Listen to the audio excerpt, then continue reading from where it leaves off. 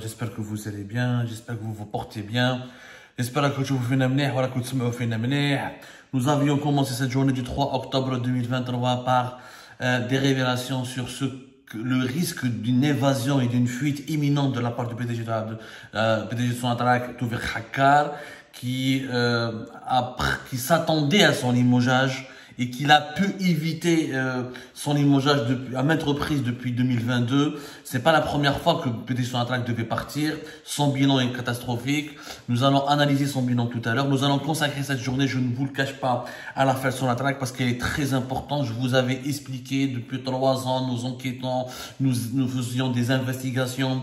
Au bout de trois ans, après avoir été condamné à mort, après plusieurs mandats d'arrêt internationaux, des, opérations propagandistes contre, propagandistes contre notre personne, notre entourage, après une répression, un, harcèlement sécuritaire et judiciaire, une persécution sécuritaire et judiciaire inédite contre notre média, des attaques contre notre site, contre notre ressource, nos collaborateurs, même nos membres de même nos familles, nos familles. Nos propres familles n'ont pas pu échapper à l'invendicte euh, de, de, de, des clans au sein du régime algérien qui étaient proches du PTG Sonatrach parce que on dénonçait leurs intérêts, on dénonçait leur, on les empêchait de réaliser leurs affaires qui sont malheureusement essentiellement de l'enrichissement illicite. Alors, dans la première émission, qui va euh, préparer sa fuite et son installation en Angleterre, et nous avions parlé du premier dossier dans lequel il est cité euh, et sur lequel la gendarmerie algérienne est en train d'enquêter. C'est une affaire qui concerne les acquisitions des canalisations de transport du gaz et du pétrole, ce qu'on appelle les pipes ou les pipelines, euh, à savoir les gazoducs et les oléoducs, c'est des infrastructures de transport des hydrocarbures depuis les gisements vers les sites de production ou euh, les de transformation et les sites d'exportation vers l'étranger. Euh, il y a aussi trois autres dossiers dans lesquels Toufik Hakar et des membres de son entourage immédiat, y compris familial, y compris sa propre épouse Emine Hakar sont cités. Ils sont sous enquête et placés sous interdiction de sortie du territoire national. L'enquête est menée par la gendarmerie algérienne, des enquêteurs d'une brigade spécialisée de la gendarmerie algérienne depuis même plusieurs mois. Trois dossiers en plus de ce dossier passation douteuse et, des faits de corruption et des versements de pots de vin pour l'organisation de marchés publics, là, des marchés d'acquisition de pipeline.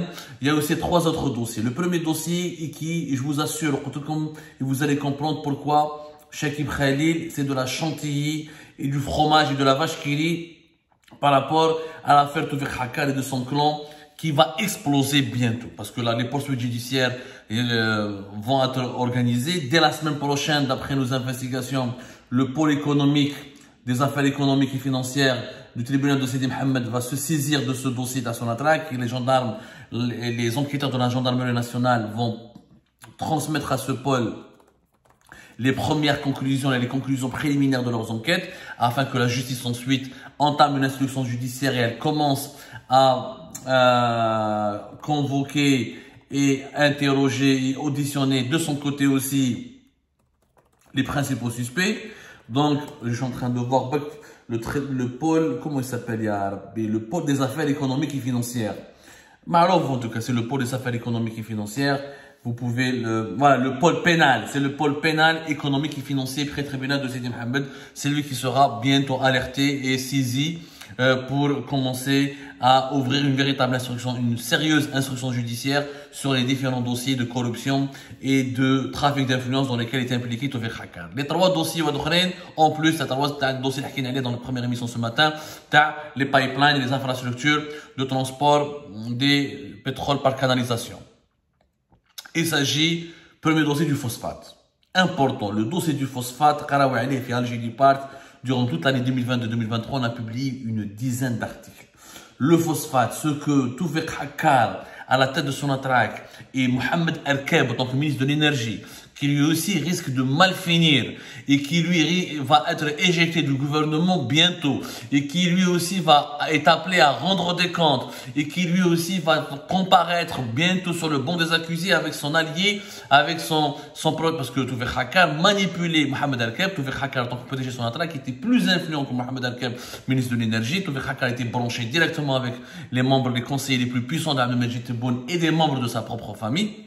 Le dossier du phosphate, le grand projet d'investissement de cible de 6 à 7 milliards de dollars qui devait être réalisé et pris en charge à 80% par des bailleurs de fonds chinois et qui devait permettre à l'Algérie de créer une véritable, un, véritable écosystème industriel entre Tbessa, euh, Skigda et Annaba, des, le phosphate qui sort de Tbessa, acheminé et, un, une partie de Tsouqaharas, transformé à Skigda et exporté depuis euh, des, installations industrielles au niveau, euh, qui, devaient être déployées au niveau de port de Annaba. Ce projet a été saboté alors qu'il devait avoir lieu alors qu'il avait été lancé entre 2018 et 2019 et qu'il devait voir le jour dès 2021-2022. Rappelez-vous, qui le principal initiateur chinois avec euh, l'ancienne administration de Sonatrach à l'époque d'Abdelmoumoun le groupe CITIC chinois a été écarté et a été remplacé à partir de 2023 par deux sociétés chinoises qui sont des petites sociétés qui n'ont ni la capacité financière de réaliser un projet de telle ampleur avec, et de mobiliser 6 milliards de dollars, ni les capacités logistiques ou scientifiques ou managériales pour mener ce projet jusqu'au bout. C'est tout simplement et ce qui s'est passé. Ça s'est passé en mars 2022. Euh, relisez le, le, fameux article d'Algérie Part. Le régime algérien l'a fait. L'exportation des gisements du phosphate du pays cédé à deux sociétés chinoises de petite taille liées à des intérêts occultes. C'est Toufik Hakka qui, de 2020 à 2022, a manipulé Abdelmajid Tebboune, a entraîné des membres de son entourage dans des deals, dans des négociations basées sur des versements de pots de vin, sur des contreparties financières. C'est du trafic d'influence qui a été fait pour écarter le groupe, le grand groupe City qui est un groupe étatique et que lui ne voulait pas verser des, pots de vin aux nouveaux décideurs du nouveau régime algérien alors qu'ils ont les, décideurs, alors Abdoufer Hakar a exécuté une sale besogne, à savoir écarter CETIC et choisir deux autres sociétés chinoises. Nous en avons parlé. Vous pouvez retrouver toutes ces informations sur les différents articles d'Algérie Park parce que si je m'étale en donnant tous les détails, on va faire des émissions de plusieurs heures. Mais on reviendra sur le dossier Sonatrach parce que comme encore une fois, ce sera un Sonatrach Gate.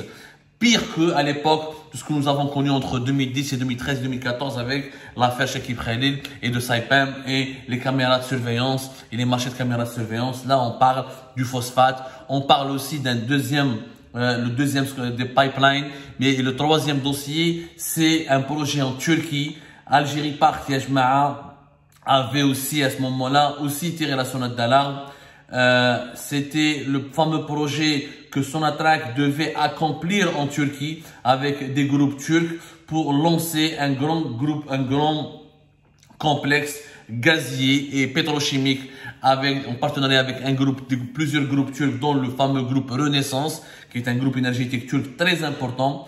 Et malheureusement, ce projet n'a jamais pu voir le jour et le principal artisan des dans les coulisses de, certains, de certaines pratiques totalement scandaleuses et illicites et illégales pour pouvoir rendre possible ce projet, c'était Toufik Hakar. Toufik Hakar c'est lui qui devait, c'est lui qui était le gestionnaire de ce projet qui consistait à réaliser un complexe pétrochimique pour la production de propylène et de polypropylène à Sayhan en Turquie. C'est lui entre 2016 et 2017 qui avait été chargé par la direction générale de son attaque de mener les négociations avec les partenaires turcs pour mener ce projet jusqu'à bout parce que l'Algérie, faut savoir que c'est le deuxième fournisseur en GNL, en gaz naturel liquéfié pour la Turquie. Et avec la Turquie, des discussions ont été menées depuis 2015 et 2016 pour euh, créer un véritable partenariat industriel. En, le 9 août 2017, le, le, Sonatra a conclu un accord très intéressant avec des groupes turcs Renaissance et le groupe euh, Baygan pour créer un véritable complexe industriel dans une ville en Turquie pour produire 500 000 tonnes et 550 000 tonnes de polypropylène et euh, c'est des installations de désodrigénation du propane. En clair, ne trouve ça dans les détails techniques, c'est un complexe gazier qui devait permettre à l'Algérie, à son attraque, de fournir du gaz à la Turquie à un prix avantageux. Et les Turcs s'engagent à le transformer en dérivé, en gaz industriel ou en des produits énergétiques dérivés du gaz qui étaient très recherchés pour les, les industries, pour les industriels dans le marché, sur le marché mondial. Et il y avait un partage de bénéfices qui devait profiter énormément à Sonatrach, puisque les Turcs devaient accompagner et investir avec Sonatrach pour réaliser ce projet. Le euh, 28 novembre 2018, Sonatrach et le groupe Connaissance turc ont créé un partenariat, un pacte d'actionnariat. Malheureusement, ce projet n'a jamais pu voir le jour pour la simple raison que des divergences ont éclaté avec, entre les Turcs et, et Hakar. Hakar qui avait bénéficié des largesses des Turcs Allez-y lire l'enquête que nous avions publiée le 20 mars 2022 comment les partenaires turcs ont fait du chantage à son attraque pour étouffer un méga scandale de corruption de 300 millions de dollars. C'était le 20 mars 2022. Nous avons donné tous les tenants, les aboutissants de ce scandale qui a permis d'ailleurs aux enquêteurs de la gendarmerie algérienne de lancer leur enquête. Toufik Hakar qui a touché des pots de main de la part des Turcs. Toufik Hakar qui a euh, d'ailleurs, nous avions révélé euh, le 30 juin 2020 comment PDG de son attract Hakar avait bénéficié de vacances et de prise en charge totale à Antalya de la part des Turcs de la part des Turcs, notamment des intermédiaires qui ont joué un rôle important dans les négociations, les coulisses entre le groupe Sonatrach et les deux groupes partenaires turcs dans ce projet de Sayhan. C'est des affaires de corruption terribles. Et d'ailleurs, d'après nos informations, les enquêteurs de la gendarmerie algérienne ont pu même découvrir qu'un membre de la famille de Tofek Hakar, il s'agirait de son frère, aurait fait des acquisitions immobilières à Antalya, la fameuse station balnéaire en Turquie. Il s'agit d'une maison basée à Antalya. C'était d'ailleurs l'une des destinations préférées du PDG de son et de sa famille. Donc ça, c'est le deuxième, ça c'est le troisième dossier. Après, le dossier est les pipelines et des canalisations euh, pour le transport des hydrocarbures. Après le dossier du phosphate avec les partenaires chinois, oui, il a avantagé clairement deux petites sociétés chinoises par rapport, petites par rapport au groupe CITIC, moyennant des contreparties financières et des pots de vin. C'est le dossier turc. Le dossier turc, Win, des entreprises turques, des intermédiaires turcs ont été forcés par Tufek Hakar à donner des cadeaux, des pots de vin et euh, de euh, verser euh, des bakchiches pour accélérer les négociations pour la réalisation d'un grand projet de production ou la, production de produits dérivés du gaz dans un complexe gazier en Turquie, un projet qui n'a jamais pu voir le jour alors que je vous rappelle quand même c'était l'un des projets phares de Sonatrach qui aurait pu permettre à Sonatrach de devenir un acteur industriel majeur au Moyen-Orient. C'était vraiment un projet très intéressant. Mais la il a été saboté encore une fois parce que les Turcs ont compris que Tufek leur faisait du chantage, il, veut, il leur soutirait beaucoup d'argent. Ils ont décidé de s'en plaindre officiellement. Ils l'ont ensuite menacé. Allez-y lire toute l'enquête d'Algérie part encore une fois, il s'agit d'une enquête publiée le 20 mars 2022, comment les partenaires turcs ont fait du chantage à son attraque pour étouffer un méga scandale de corruption de 300 millions de dollars? Les écrits sont là, et comme vous savez, notre tradition fait Algérie on fait des écrits et on les traduit aussi, on les, les traduit quelque part, voilà. On les traduit en vidéo, en émission vidéo, parce que nous réalisons aussi des émissions, des vidéos sur notre chaîne YouTube pour permettre à tous nos compatriotes ou à tous les observateurs qui s'intéressent à l'Algérie d'accéder à deux contenus, un contenu écrit et un contenu en vidéo.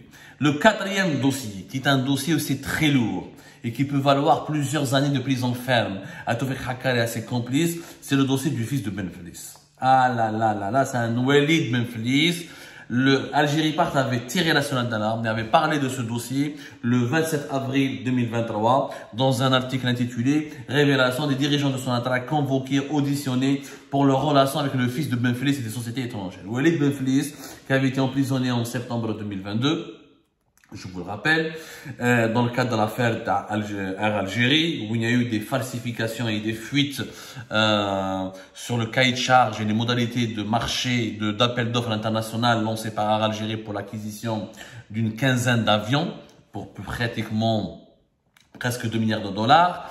Walid Benflis avec deux, deux responsables d'Air Algérie et, un autre responsable du ministère de la Défense nationale avait été arrêté, placé en détention. Cette affaire n'a jamais été encore jugée. Le PDG d'Algérie, l'actuel PDG d'Algérie avait été d'ailleurs mis euh, sous ISTN, sous interdiction de sortie du territoire national à cause de cette affaire. Puis, on n'en a plus jamais parlé. Walid Benflis, c'est un c'est un célèbre avocat d'affaires, qui algérien et canadien à la fois. Il a un bureau d'affaires au Québec, dans le Canada francophone la province francophone du Canada. Et il s'avère que Walid Benflis ne s'intéressait pas uniquement au secteur du transport, et ça, il travaillait beaucoup dans le secteur des hydrocarbures parce qu'il permettait à des entreprises canadiennes et autres de, de, prendre des marchés en Algérie. Et lorsque les enquêteurs ont arrêté Walid Benflis en saisissant son matériel informatique, ils ont découvert euh, lors de leur, de enquête que Walid Benflis était en contact avec plusieurs hauts responsables de son attaque c'est pour cette raison que plusieurs responsables ont été convoqués. Il s'agit du directeur de la production du groupe Sonatrach, du vice-président d'activité exploration et production, PDG de la filiale SARPI SPA, les, PDG des filiales euh, GTP et GCB, euh, les responsables de la direction Engineering et Project Management, tout ce beau monde avait des relations avec Walid Benflis ou était en contact avec des sociétés étrangères qui étaient parrainées, représentées et défendues par Walid Benflis en Algérie et qui ont obtenu pendant un certain nombre d'années des contrats et des marchés juteux en Algérie dans des conditions malheureusement troublantes, moyennant des interventions pour qu'ils soient pour soient favorisées au détriment de leurs adversaires. Il n'y a pas eu de concurrence loyale, il n'y a pas eu de compétition loyale. Ces entreprises, à travers Walid Benflis, sont soupçonnées d'avoir versé des pots de vin à des responsables de son attaque et parmi lesquels il figure des premiers collaborateurs de Toufik Hakar qui est cité aussi dans ce dossier. Il est d'ailleurs soumis lui aussi à une enquête dans ce dossier. Oui, je rappelle que Walid Benflis et aussi, euh, elle a été emprisonnée pour euh, trafic d'influence, corruption, euh, trucage de marché public, mais aussi il y a une affaire d'intelligence avec puissance étrangère parce qu'on soupçonne Walid Benflis d'avoir effectué un voyage en Israël et d'avoir eu des rapports avec des représentants, certains lobbyistes israéliens. C'est une affaire très grave qui est étouffée et dont personne ne parle en Algérie depuis, en tout cas, la fin de l'année 2022. Il n'y a qu'Algérie part qui essayant, nous, en tout cas, de recouper nos sources et de vérifier toutes les informations que nous pouvons obtenir dans ce dossier-là, très délicat, sur lequel, un dossier sur lequel les langues ne veulent pas se dédier. Personne n'a envie de parler parce que tout le monde a peur.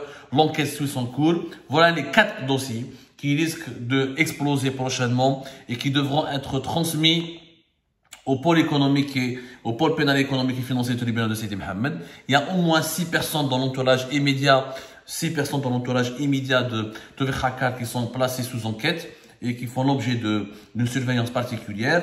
Si Tove Hakar n'arrive pas, il choisit fuir le pays, il devra comparaître, il devra rendre des comptes, il devra être questionné, interrogé, et je vous assure que ces quatre dossiers, l'acquisition des pipelines pour plus de 2 milliards de dollars, euh, le, le, le, projet du phosphate de Tbessa et le grand projet phosphatide de Tbessa pour 6 milliards de dollars. Euh, le projet de Sayhan avec les Turcs et l'affaire euh, et l'implication des, des collaborateurs de Hakar dans les euh, passations douteuses et illégales de marché avec les, des sociétés représentées par Walid Benflis. Ces quatre dossiers, oh, c'est des dossiers très très lourds où ils ont des enjeux politiques et des enjeux financiers avec un préjudice financiers terribles et des pots de vin qui peuvent être chiffrés à plusieurs centaines de millions de dollars. C'est une affaire, ce sont des scandales pires, vraiment pires que ceux de l'ère de Sheikh Ibrahim.